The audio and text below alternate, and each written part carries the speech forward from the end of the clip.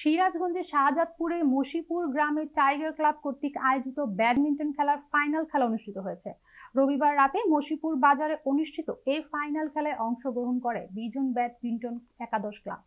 ও Monirul badminton একাদশ club. বিজন badminton একাদশ ক্লাবকে হারিয়ে মনিরুল ব্যাডমিন্টন একাদশ ক্লাব বিজয় হয়।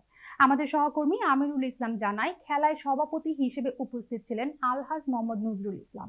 প্রধান অতিথি হিসেবে উপস্থিত ছিলেন গাড়াদহ ইউপি চেয়ারম্যান জনাব সাইফুল ইসলাম।